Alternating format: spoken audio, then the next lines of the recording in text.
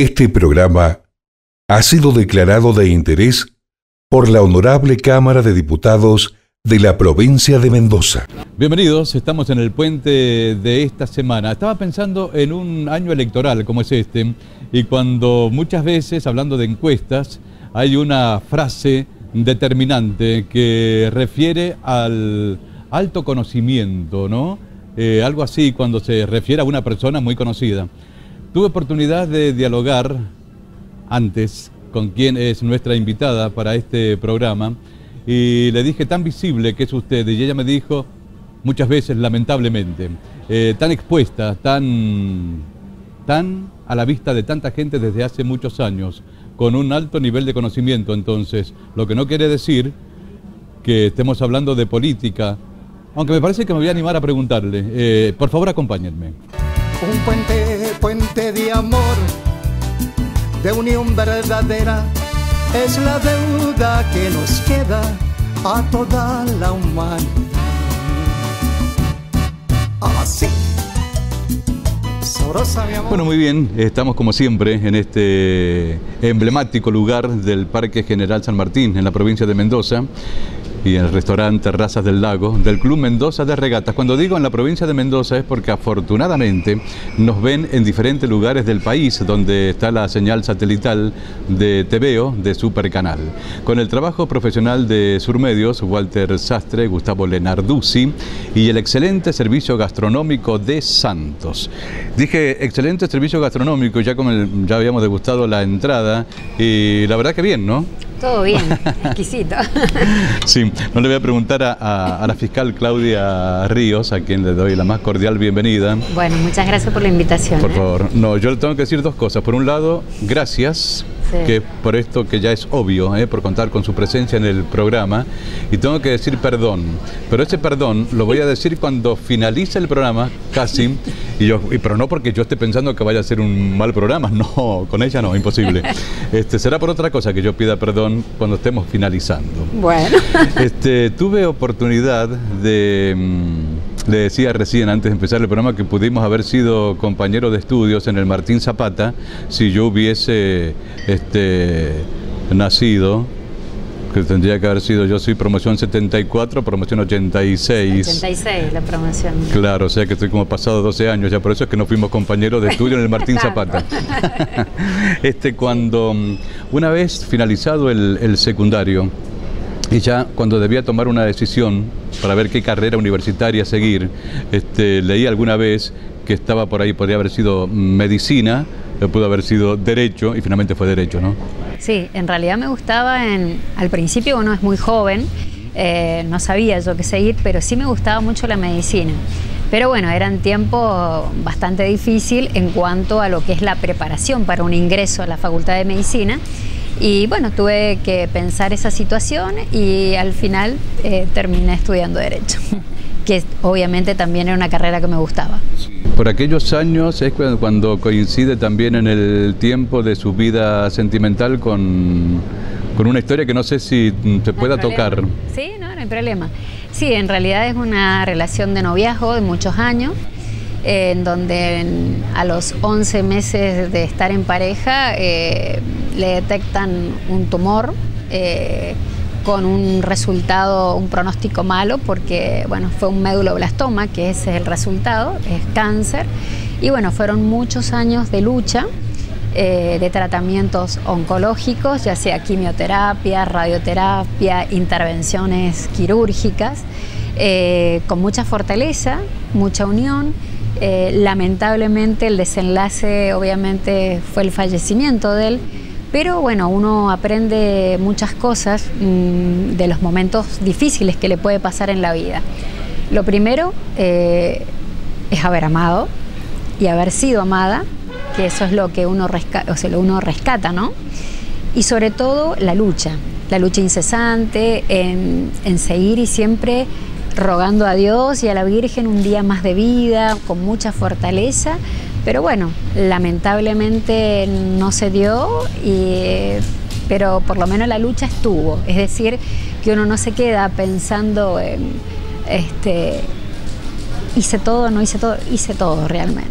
Y la verdad que terminó así, pero eh, quedan los mejores recuerdos, eh, la fortaleza y la lucha en seguir adelante. Eh, por eso valoro mucho por ahí cuando hay, y no es que siempre sea este el destino final, o sea, hubieron muchas complicaciones que llevó aparejado la muerte, ¿no? Pero eh, valoro mucho por ahí cuando veo familias en contención a sus familiares más cercanos en un tratamiento tan agresivo en el sentido, no por las consecuencias, sino que la persona está débil y siempre la lucha y la fe y eso es lo que uno le nos mantiene en realidad.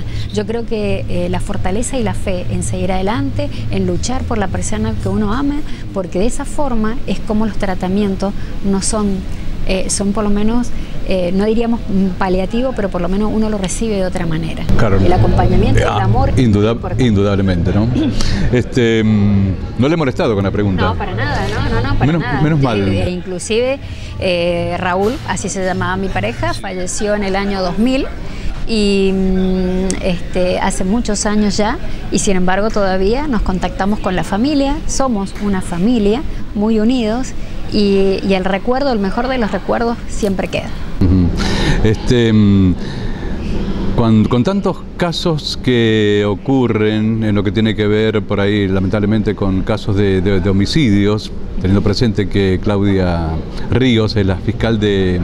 Está en la unidad fiscal, es así, ¿no? Unidad fiscal de homicidios. Sí, ahora, la, si me permiten, las fiscalías han sido especializadas por delito. Eh, entonces hay una unidad especializada de homicidios y violencia institucional, donde somos cuatro fiscales que nos vamos turnando cada una semana. Como asimismo existen las demás unidades fiscales especializadas por delito, ya sea violencia de género, robos, este, todos los delitos que tenemos, eh, ya sea especializados o no, pero eh, se ha especializado ya por la, materia, ¿me entiende? Entonces, el delito que se investiga están los fiscales especializados en ello. Y forma parte usted de un equipo, obviamente, en esa, en esa fiscalía. un gran equipo.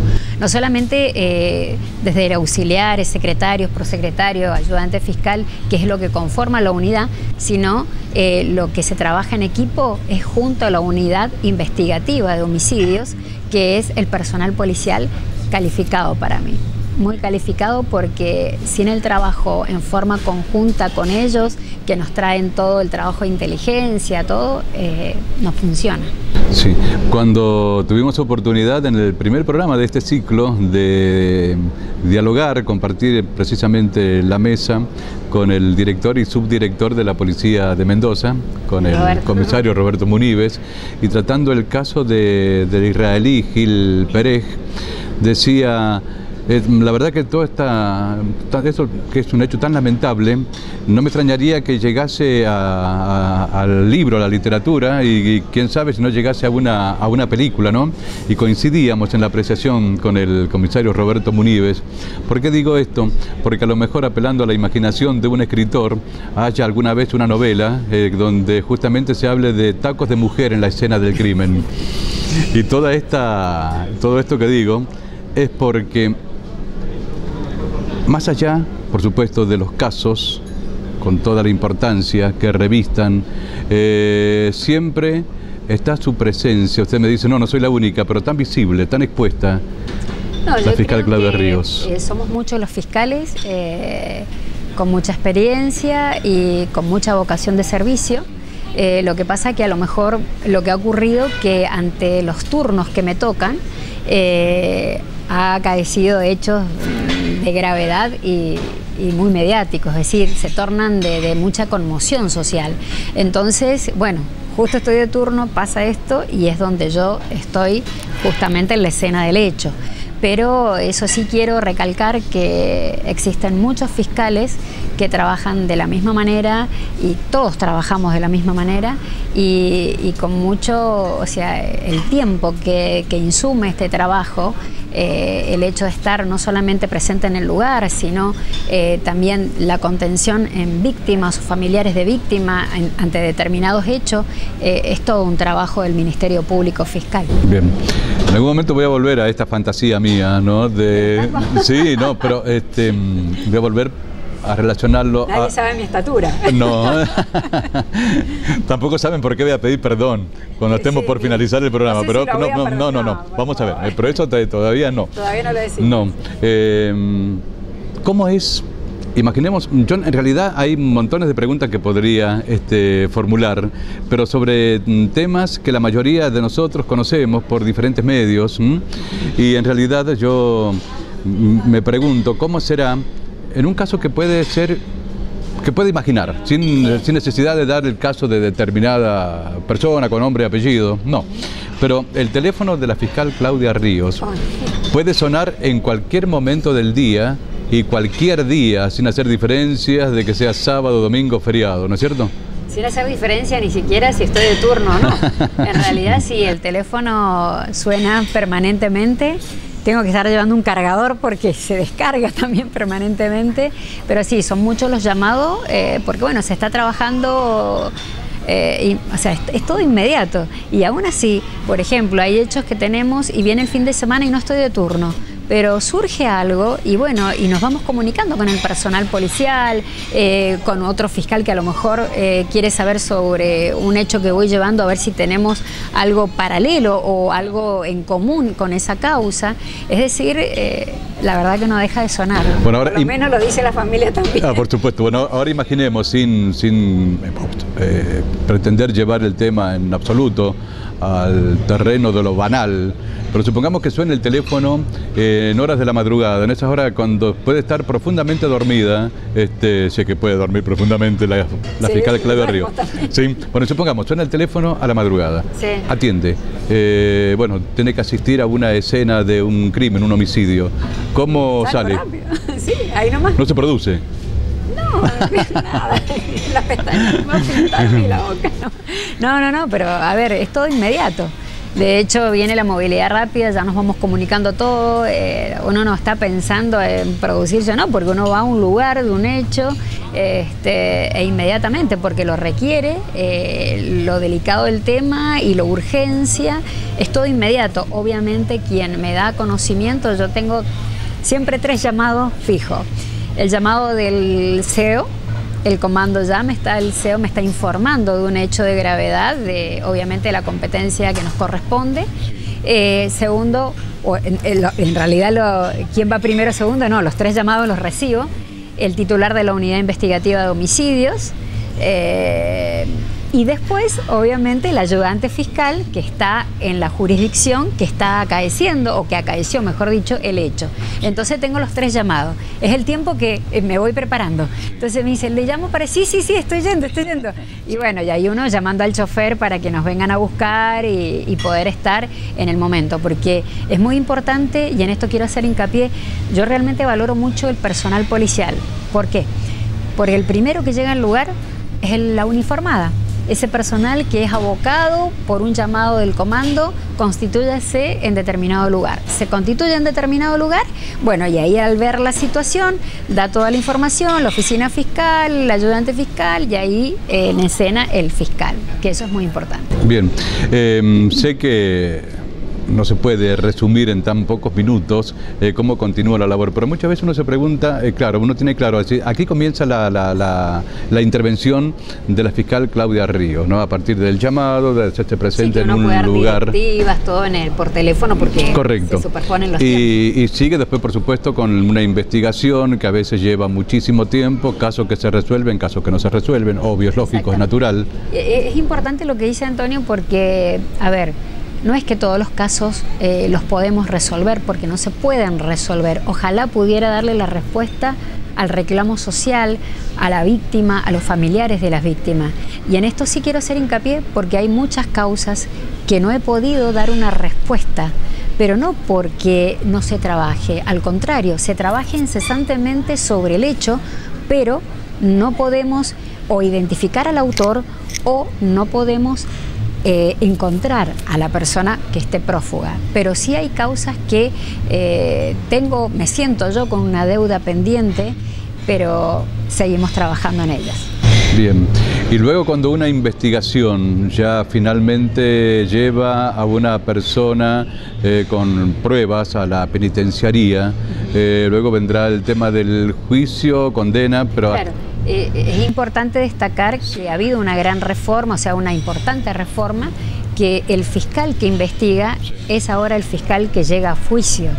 Es decir, no solamente investiga, sino llega al debate y que también tenemos que producir las pruebas que se llevaron a cabo en la investigación penal preparatoria en un primer momento, pero eh, ya es diferente en un plenario, es decir, en una audiencia oral y en donde obviamente pueden haber nuevas pruebas, nuevos testigos o diferentes testimonios que mm, nos interesa también en ese momento. Correcto, hasta ahí queríamos saber, porque la verdad creo que la mayoría, no sé, no tal vez sea los míos muy atrevidos, pero me parece que una gran mayoría desconocemos este, justamente cuál es la, todo el tiempo de trabajo de una fiscal, donde comienza y cómo termina, ¿no? Eh, digo que lo desconocemos, eh, me parece.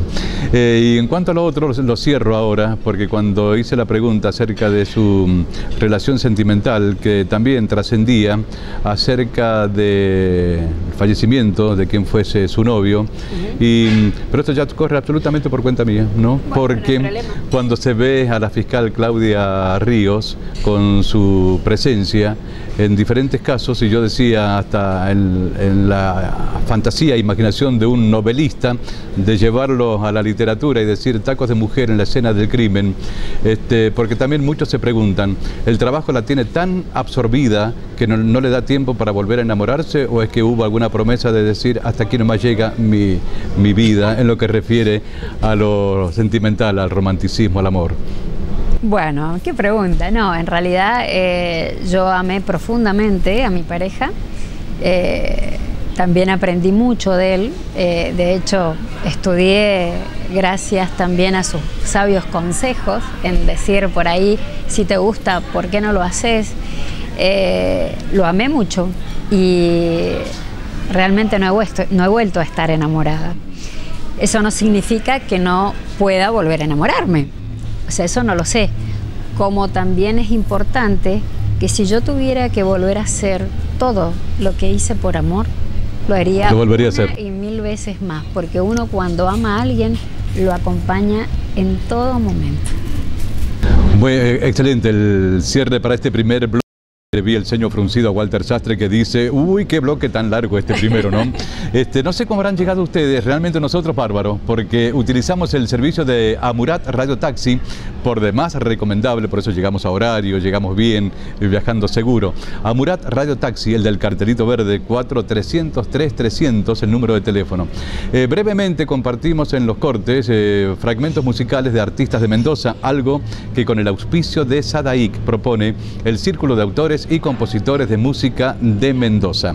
Quiero comentarles que SBS, Librería Internacional con Silvia González, está recomendando para esta para esta semana, para este tiempo, si se quiere, la lectura, le muestro la cámara de Gustavo, de este libro Rosa Montero, Los tiempos del odio, y dice, sin amor, no merece la pena vivir. Y dice en una parte de la presentación que Los tiempos del odio es una novela intensa y de acción trepidante en la que están presentes los grandes temas de Rosa Montero, el paso del tiempo, la necesidad de los otros para que la vida merezca la pena, la pasión como rebelión frente a la muerte, los excesos del poder y el horror de los dogmas. Ganadora del Premio Nacional de las Letras, Rosa Montero construye un certero y deslumbrante retrato metafórico de los tiempos en que vivimos. Y este, este otro libro, le muestro, lo trajimos un tiempo atrás, pero otra vez, es de Ricardo Canaletti, el que hace la Cámara del Crimen en, TN y Crímenes Sorprendentes de la clase alta argentina. Y nada menos que teniendo presente acá la fiscal Claudia Rivas, se me ocurre a mí traer este libro, ¿no? Que dice, por ejemplo, un gobernador es asesinado por los celos desmedidos de su esposa. No solo matan los pobres y los marginados, la flamante oligarquía decimonómica también tiene sus verdugos. Vaya tema, eh, libros recomendados entonces por SBS Librería Internacional para esta semana. Ah, debo comentarles algo, dame, dame un minuto más porque UDGRA, Seccional Mendoza, comunica que en el marco del Día Internacional de la Mujer se realizará el primer encuentro de mujeres en Mendoza unidas construyendo igualdades y empoderamiento. Y esto será el jueves 28 de marzo a las 16 horas en el Hotel Aconcagua. De modo que se sugiere, se recomienda a todos los interesados, hombres y mujeres, ¿eh? este, acercarse por Avenida Mitre 741 de Ciudad. Allí está UDGRA. Eh, Juan Carlos Caballero y Comisión Directiva del SUTER, que es el gremio que se ocupa de los encargados de edificio, nos recuerda que sigue brindando la ayuda escolar en efectivo, mil pesos, a los hijos de afiliados, de modo que también pueden acercarse por allí. Y nos dice que el 23 de marzo tendrá lugar el Congreso de la Educación, esto será en Bahía Blanca, pero habla de la preparación, de la formación también de estos dirigentes. La pausa, ya volvemos. La han la han llorar. Si mi negra llora, le han pagado mal. La ciudad de Mendoza, una ciudad moderna, la ciudad de la cultura, la ciudad que respeta y cuida sus espacios públicos, la ciudad que integra y evoluciona, la ciudad que hacemos juntos. Bienvenidos a la capital internacional del vino. SBS, Librería Internacional, Universo de Palabras, en Gutiérrez 32 de Ciudad.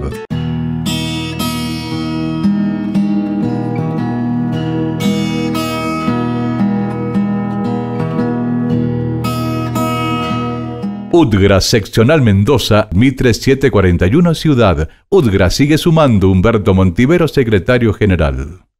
Amurat Radio Taxi. Trayectoria y prestigio lo hacen bueno y conocido. Radio Taxi 4303 300. Sadaik acompaña al Círculo de Autores y Compositores de Música de Mendoza. Participa. Agrandemos el círculo. Contacto 261-539-1985. SUTER, Sindicato Único de Trabajadores, Edificios de Renta y Horizontal, con Juan Carlos Caballero, secretario general y comisión directiva, al servicio de sus afiliados. Es un lugar distinto y es único. Forma parte de las postales de Mendoza, como el parque, como el lago. En el Club Mendoza de Regatas está el restaurante Terrazas del Lago, con el reconocido servicio gastronómico de Santos. Cutuli Imprenta, ahora cartelería. Cutuli Imprenta ya. La Valle 347, Ciudad. Un puente, puente de amor, de unión verdadera. Bueno, muy bien, continuamos. Segundo bloque. Sé que tiene como líder al general San Martín. Sí. Sí. sí, sí. Ay, yo- Usted tiene que ver mi despacho en realidad. Eh, no lo he visto personalmente, pero en alguna nota sé que tiene el... El cuadro de San Martín mm, me lo regalaron dos ayudantes fiscales que tuve en un principio en delitos complejos. Lo tengo hacia el fondo el, el- el cuadro y la bandera este, de la provincia, en realidad el ejército. Sí. Ahí. Y la del Tomba, ¿no? Tengo la taza del morro, tengo la taza, sí, me la regalaron la taza y también para apoyar el mouse del el escudo del Tomba. Y sí, uno tiene su corazón. Sí, no, sí, lo sabemos, lo sabemos.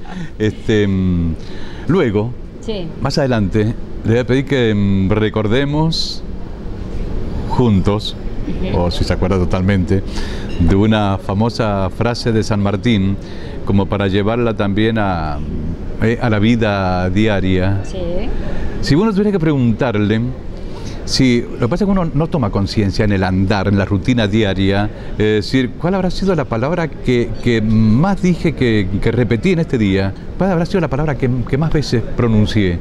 Quizás eh, permiso, perdón, eh, por favor, gracias. ¿Cuál habrá sido la palabra? O quizás ninguna de ellas. Y siempre eh, lo que pasa es que uno tiene, a ver, eh, los consejos del padre. No te olvides del por favor, de gracias, todo, y eso es como que uno le queda. eh, ¿Qué tal? ¿Cómo le? Mire, por favor, o sea, siempre esas son cosas que uno eh, aprende en casa. Eso no, no, importa de la profesión, nada, sino son lo- los códigos que uno adquiere en casa y son los que siempre tienen que estar en todo momento.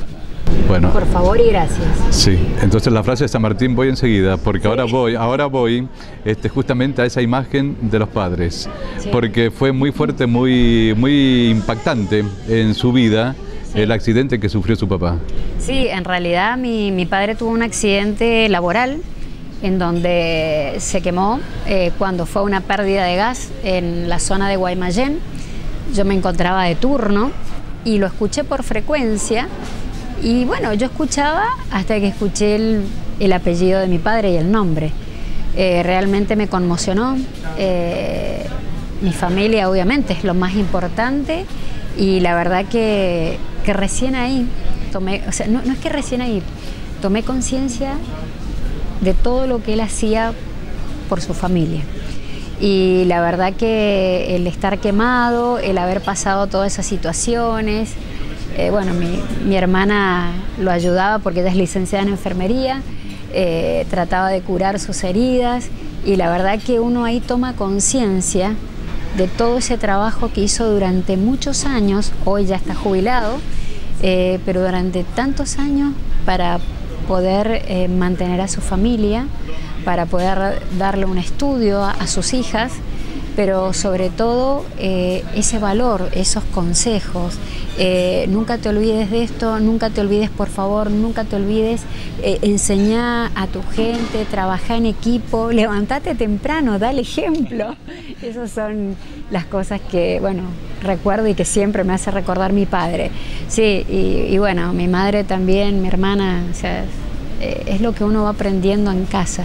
Pero ese accidente quizás eh, si bien sabía su trabajo, que estaba dentro de los pozos de gas, eh, con diferentes, eh, creo que se llama electrofusión, que, que, que, estaba siempre en ese tipo de trabajo, él cuando llegaba con su ropa de trabajo, su mameluco, lleno de óxido, yo lo miraba y él me decía, tienen que estudiar, tienen que estudiar, que en realidad es hacer lo que te gusta.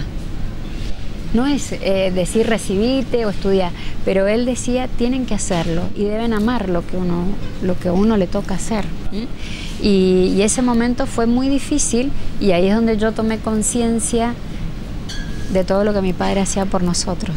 Y, me duele porque en esta situación hay muchos papás, mamás eh, que hacen todo para que sus hijos tengan un estudio. Sí, sin duda. Eh, la escucho y vienen dos preguntas, pero, no, pero, pero, obvio que no puedo hacer las dos simultáneamente, ¿no? De modo que, a ver si recordamos juntos la frase de San Martín. La que ¿no? me gusta a mí. Sí, sí, claro. sí, sí. Pero yo no sé si, a ver, la memoria, porque vamos una frase... a ver, vamos a ver. Aquella que la, soberbia. la soberbia, la soberbia. Es una discapacidad que suele afectar a pobres infelices mortales cuando de repente se, se, encuentra con una miserable cuota de poder. Una miserable cuota de poder. Me gusta la frase. A mí también. Entre varias que hay. ¿no? Sí, ¿no? Pero esta me lleva a pensar, este, primero porque obviamente uno llega a hacer un programa y alguna referencia, algún dato, algún conocimiento previo eh, trae o traigo, ¿no? Para tratar con, con la invitada. Y, y sé de su humildad.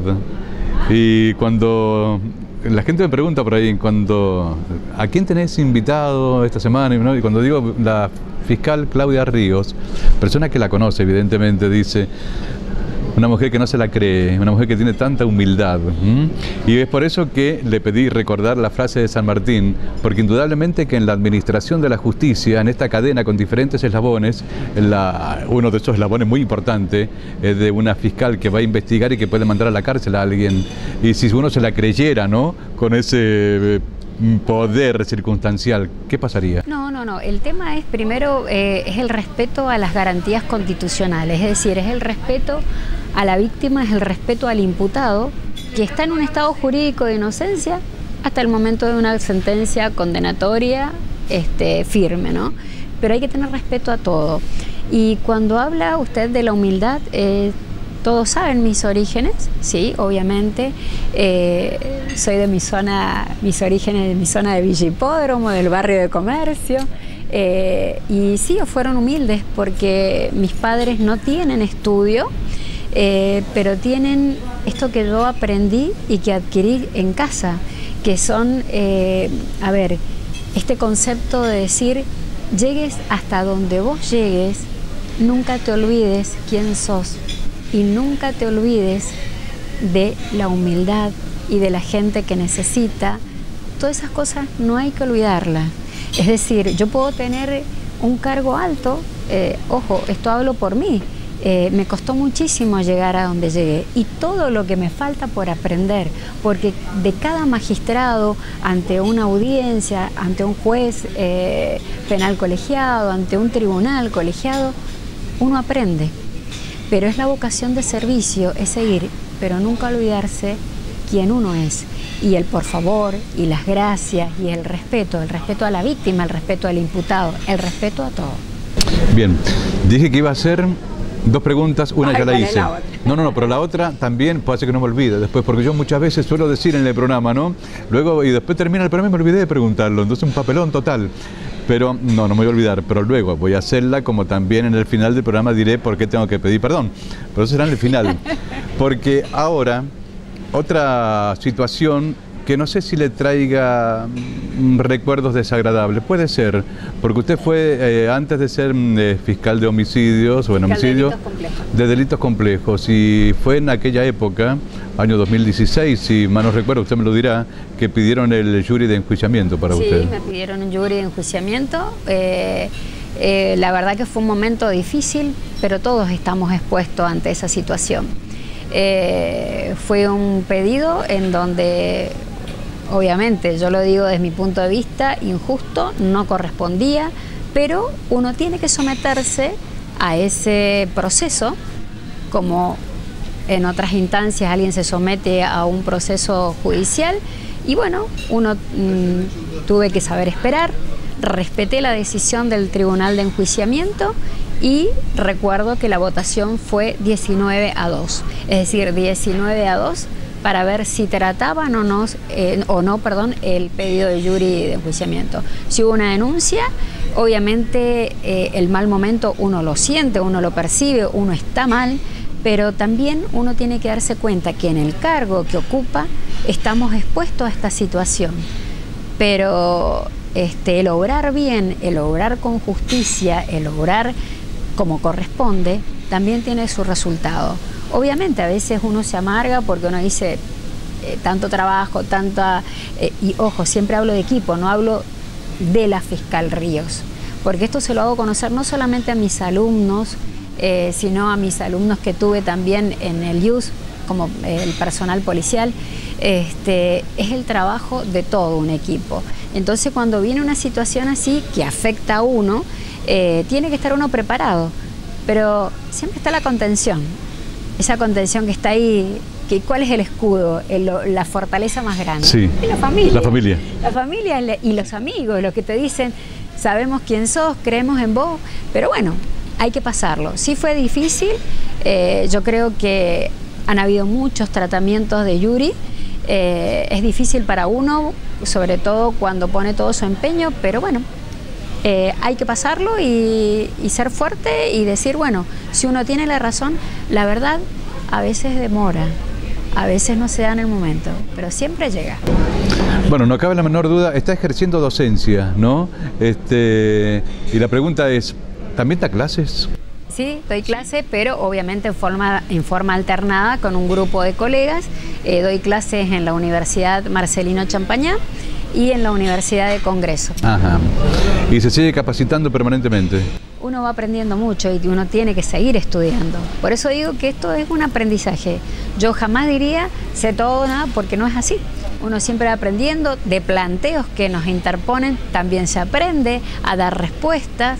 Eh, es todo un aprendizaje, vuelvo a repetir. Seguro. El hecho de que en su vida, en algún momento, pudo haber estudiado medicina, ¿no? Estudió derecho, pero finalmente, yo digo muchas veces cuando se habla con alguna persona, dice, me encantaría la medicina, pero la, verdad que la sangre me horroriza, me espanta, no, no podría haber una persona herida. Y tanto hubiera sido en medicina como en la parte de fiscal, como doctor. Claro, ¿no le impresiona o es como que ya está muy curtida? No, lo que pasa es que uno va preparado, o sea, mentalmente uno va preparado. Eh, ya cuando uno le va diciendo, o sea, no, es, no, no me ha impresionado realmente, o sea, eh, sabe lo que uno por ahí, no es que le afecte porque uno tiene que ser totalmente objetivo, pero cuando ve todo un entorno a lo mejor eh, de familiares llorando, de toda una familia, de vecinos, de gente, entonces uno como que trata de contener, de separar porque no puede contaminarse la escena del hecho y bueno, toda esa situación que la viven en primer término los policías, que son los primeros que llegan al lugar. Pero en sí, eh, no, no, no, no, no me ha impresionado, o sea, uno va preparado, lo ve, sabe y bueno.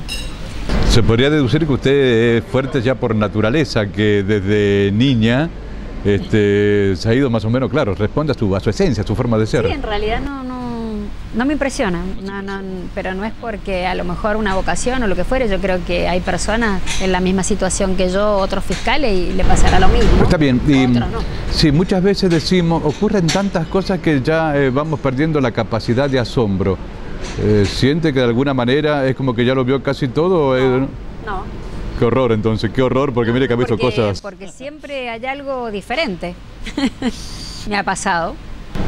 Sí. Sí. Claro, yo eh, sé que no puedo, no, es decir, yo puedo hacer preguntas y sé que usted no me va a responder determinadas preguntas que yo pueda hacer.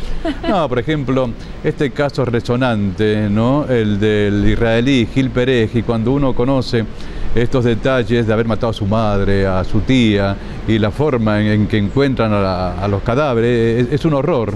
Sí, quizás los actos posteriores a la muerte son, lo que, son los que ha impactado a la sociedad. Eh, jurídicamente, mm, esos actos, como son post-mortem, no eh, agrava la figura ni, modifica la calificación del delito que en principio se le ha atribuido a este señor. Eh, sí, por ahí repercute este, emocionalmente en, el resto de la sociedad, a lo mejor diferentes situaciones, como se han dado y cómo fueron hallados los cadáveres. Eh, pero bueno, esa es la situación que hubo.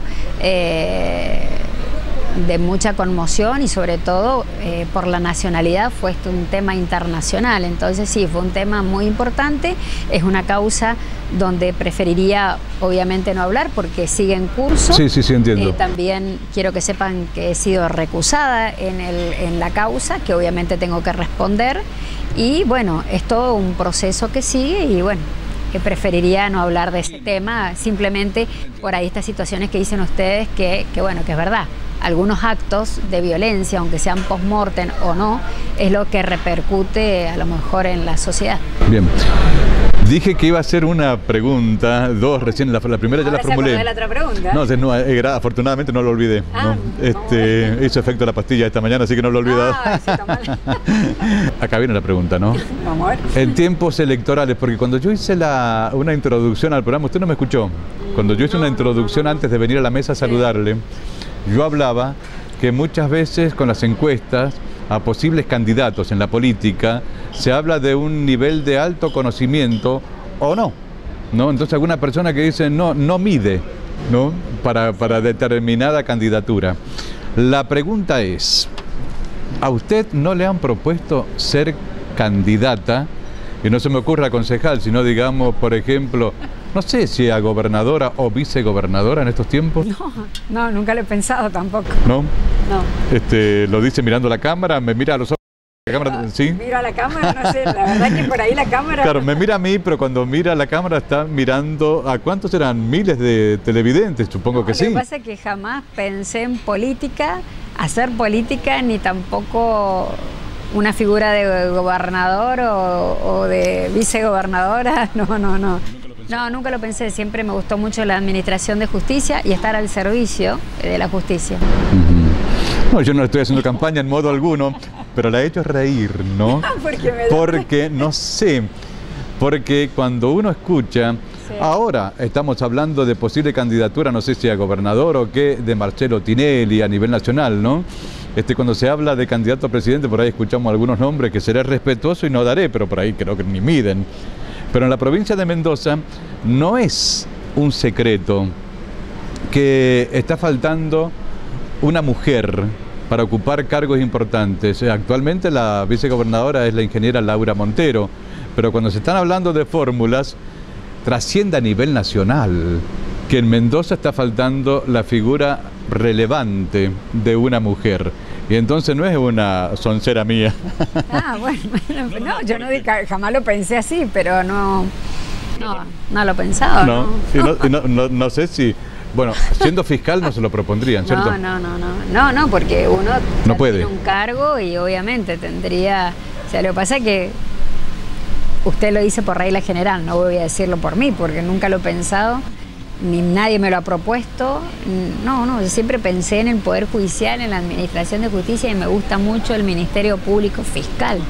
Eh, pero si alguien dentro de la justicia quisiera ser este, candidato a, obviamente tiene que dejar su función. Tiene que dejar su función. Obviamente. Claro, bueno, nadie se lo ha propuesto, ha dicho, ¿no? Este, ¿Será que uno al estar en los medios por ahí a lo mejor ve algo que, no sé, ¿no? A lo mejor en otro ámbito se le escapó alguno. En un alza estoy dando ideas, no lo sé. Este, vamos a ir buscando una nueva pausa, ¿sí? Este, el momento que ya viene justamente Gabriel con plato principal del Servicio Gastronómico de Santos. A esta pausa voy recordando que el SUTER también hace entrega de una notebook por única vez a los alumnos que inician el primer año del secundario. Y digamos que el SUTER es el Sindicato Único de Trabajadores Edificios de Renta y Horizontal y está en 25 de mayo 1656 de Ciudad. También recordamos que UDGRA Seccional Mendoza comunica que en el marco del Día Internacional de la Mujer se realizará el primer encuentro de mujeres en Mendoza, unidas, construyendo igualdades y empoderamiento. Dicho evento se realizará el día jueves 28 de marzo a las 16 en el Hotel Aconcagua. Cupos limitados, pide Carolina Montivero de UDGRA, que también está integrando lo que es el IPLIDO de UDGRA, que es la delegación permanente en Mendoza, que por favor se contacten en la seccional Mitre 741 de Ciudad. Hacemos propicio el momento también para saludar a Humberto Montivero, secretario general de UDGRA, porque con él en Mendoza, UDGRA sigue sumando. Vamos a la pausa, compartimos breves fragmentos musicales de artistas de Mendoza, muy breves, ¿eh? algo que con el auspicio de Sadaic propone el Círculo de Autores y Compositores de Música de Mendoza. Ya volvemos. Camino del eco regresa la trova, vocación de testigo inventando el vino. La cepas ternura por dentro es enero.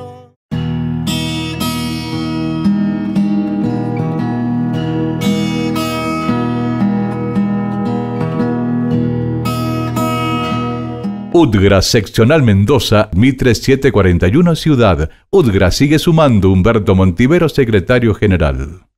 Amurat Radio Taxi. Trayectoria y prestigio lo hacen bueno y conocido. Radio Taxi 4303 300. Sadaic acompaña al Círculo de Autores y Compositores de Música de Mendoza. Participa. Agrandemos el círculo. Contacto 261-539-1985. SUTER, Sindicato Único de Trabajadores, Edificios de Renta y Horizontal, con Juan Carlos Caballero, secretario general y comisión directiva, al servicio de sus afiliados. Es un lugar distinto y es único. Forma parte de las postales de Mendoza, como el parque, como el lago. En el Club Mendoza de Regatas está el restaurante Terrazas del Lago, con el reconocido servicio gastronómico de Santos. Cutuli Imprenta, ahora cartelería. Cutuli Imprenta ya. La Valle 347, Ciudad. La ciudad de Mendoza, una ciudad moderna, la ciudad de la cultura, la ciudad que respeta y cuida sus espacios públicos, la ciudad que integra y evoluciona, la ciudad que hacemos juntos. Bienvenidos a la capital internacional del vino. SBS, Librería Internacional, Universo de Palabras, en Gutiérrez 32 de Ciudad. Un puente, de unión verdadera. Bueno, este es el momento en el que a veces me pongo nervioso yo, porque cuando Walter Sastre golpea sus manos así dice, último bloque, y aparte por ahí me dice cuántos minutos me quedan, digo, no, no, no, no, no, no, no, no puede ser tan rápido, ¿no? Tampoco me quedan. Y es que muchas veces en el bloque final, Sí. este, de alguna forma uno puede resumir a veces algunos temas que se fueron tratando en el transcurso del programa y que van quedando, ¿no? Em, días atrás decía que iba a implementar en el puente, en este programa, proponer al invitado, es decir, si tuviese que elegir un momento en su vida, Sí. cualquiera, ¿no?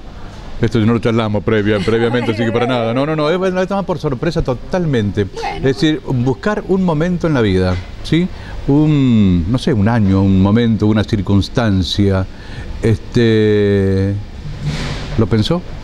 Por ejemplo, habl- para hablarnos desde ese momento en su vida. Hay dos momentos en mi vida marcados. Eh, uno ya lo saben porque lo hemos hablado, que es el momento más triste. Eh, ese sí fue, se marcó en mi vida ese momento de mucha tristeza, mucho dolor, eh, pero también de mucha fortaleza. Y, y el momento más feliz es el que uno puede compartir eh, con la gente que ama, que es la familia, la contención, los amigos, los que siempre están. Esos son los momentos que uno marca como los momentos más felices. Eh, la felicidad no es, eh, son momentos. Ah, sí, claro. mí. Sí, son... Entonces es como que eso se rescata y, y todo tiene una enseñanza. El momento feliz que compartís, o sea, después de lo que me pasó, creo que uno tiene que valorar las cosas que tiene, las personas que tienen a su lado, valorarlas, protegerlas, amarlas y compartir y ser feliz. Todo eso me sonó muy bonito, ¿no? Porque lo es, claro, porque está hablando de, de- de- de afecto, familia, contención. Pero hay un lugar que uno puede deducir donde no debe ser todo tan grato, de momentos felices y todo tan bonito siempre. Y vamos al ámbito laboral. Ah, bueno. Si hay, si hay- Ah, bueno, Ajá.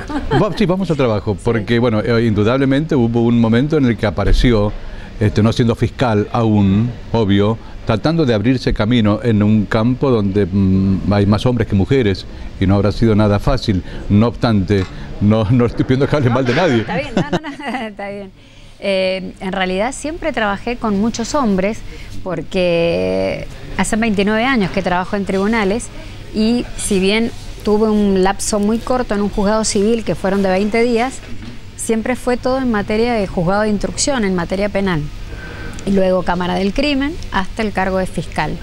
Eh, trabajé no solamente, muchas gracias, eh, con hombres en cuanto a eh, ya sea personal policial, como también el personal que ocupaba el juzgado o la fiscalía. Pero sí, trabajé con muchísimo personal masculino y la verdad que en esto sí quiero hacer hincapié que nunca eh, se dio una diferencia de que uno es hombre o es mujer. Es lo que yo dije en un principio, es trabajar en equipo con vocación de servicio. Yo realmente, y esto si me permite, eh, yo admiro eh, mucho al personal policial que trabaja con- conmigo. Somos un equipo de trabajo, la unidad especializada, la unidad investigativa de homicidios, eh, como así también el titular eh, de, la de- la Dirección de Investigación eh, de, de Investigaciones, el señor comisario general Vega, como el titular de, la unidad investigativa de homicidios, el señor Rodríguez, y todo el personal a cargo, realmente se trabaja en equipo y nunca, nunca sentí la diferencia, teniendo presentes que ellos también conformaban el grupo de lo que era antes delitos complejos, que de repente de ser tres fiscales, al eh, asumir como camarista el doctor Correa Llano, voy yo en su lugar como fiscal de delitos complejos y jamás sentí la diferencia. Eh, ¿Por qué? Porque trabajando en equipo, con vocación de servicio y dialogando, porque esto es diálogo, ellos vienen, no, como dije, no es la firma de la fiscal Río, la fiscal Río tiene, no. Todo, no solamente el personal policial, el cuerpo médico forense, policía científica impecable, en esto quiero hacer y destacar a Corias, a Reyes, eh, pero también el personal administrativo. Entonces es hombres y mujeres trabajando en equipo, porque se trabaja de esta forma, desde mis auxiliares, mesa de entrada, secretario, ayudante fiscal, y esto sí quiero hacer hincapié porque uno no sabe qué hay detrás de la figura de un fiscal. Está todo ese grupo y ese equipo trabajando y no hay distinción de hombre o mujer. Nunca sentí eh, esa diferencia, vos sos mujer y yo soy hombre, porque se trabajó con tanto diálogo y confianza que no se sintió ninguna diferencia, no la tuve jamás. Bueno, en, buena hora. Este, mm, cuando habla de casos, ya, insisto, lo decíamos ya en el comienzo del programa que no, iba a pedir de abordar ningún caso en particular. También, por un lado, por prudencia, porque acá es casi como que ya conozco la respuesta, sí, está bajo secreto. Y en otros casos porque trascienden ya por diferentes medios y no vamos a estar aportando ninguna novedad. Pero le queda esa sensación muchas veces, no sé si será una frustración ante las víctimas, que eso sí le conmueve, de... Impotencia es. Impotencia, impotencia de no poder dar respuestas. O impotencia que, respetando obviamente eh, la palabra de un superior jerárquico, eh, se da todo lo contrario a lo que uno este, trabajó en conjunto. Eh, sí, uno le da impotencia de no poder dar respuestas y tengo varios casos en donde todavía no he podido dar respuesta, los tengo en mi mente con nombre y apellido y bueno, eso sí, da mucha impotencia y bronca.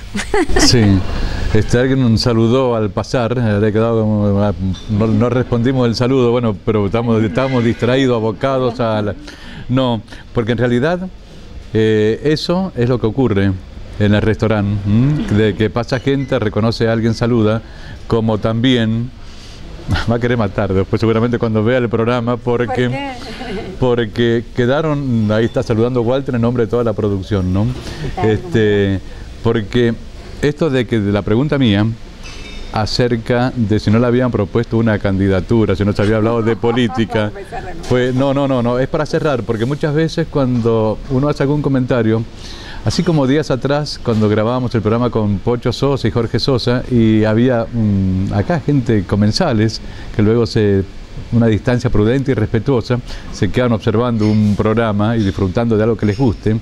En este caso, no es que estemos haciendo una encuesta ni, ni campaña, pero hubo gente que dijo, qué buena idea, ¿eh?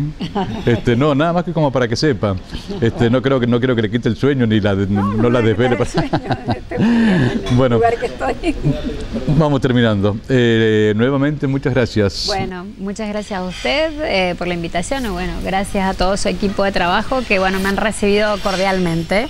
Y he pedido disculpas, se olvidó, pero no No, no, no, no, no, no me olvido, porque ahora viene este, y, le, le pido perdón, y le pido disculpas, porque al momento de estar realizando, grabando este programa, está jugando el tomba, ¿sí?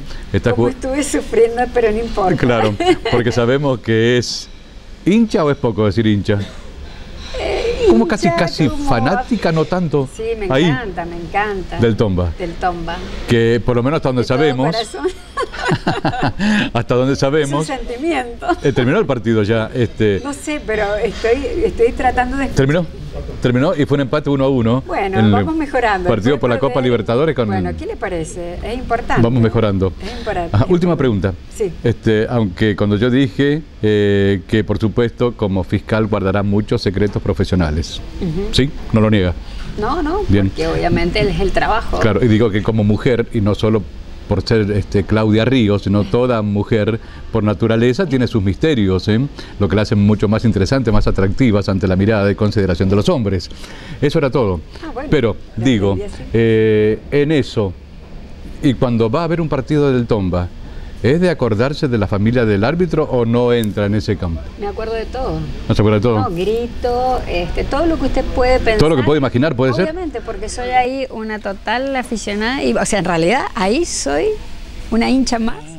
Y, y no, la verdad que no me acuerdo lo que digo, pero sí, grito, me acuerdo del árbitro, si fue malo el arbitraje. Ah, bien, todo. perfecto. Bueno, pensé que me iba a decir, no, en modo alguno, pero No, no, cuando... no, no, pero es que cuando mentiría y la próxima vez que me encuentren en la cancha me van a decir, estás mintiendo. Está mintiendo. Pero aparte cuando dijo lo que sí no me acuerdo lo que digo. Ahí se ya lo puse otra vez en el bajo un Sí, manto, digo, un halo de no, no, misterio. No, no, sí, me acuerdo perfectamente, Sí, pero pero, dejémoslo no ahí. se puede reproducir. Este, ¿puedo proponerle un brindis? Por supuesto. Sí. O, o mejor dicho que lo proponga usted. En realidad, en lo mío de poder dar respuesta a muchas familias, y en esto lo digo con compromiso, eh, porque como le dije recién, queda la impotencia, ojalá podamos dar una respuesta y que podamos trabajar eh, todo de la mejor manera y darle justicia a toda la gente. Brindemos por ello entonces. Bueno, Salud, muchas gracias una vez más. Muchas Bueno, gracias. Muchas gracias, gracias. a Con ustedes. ustedes, muchas gracias por aceptar nuestra propuesta. Hasta cada momento. Salud. Un puente, puente de amor, de unión verdadera, es la deuda que nos queda, es la deuda que nos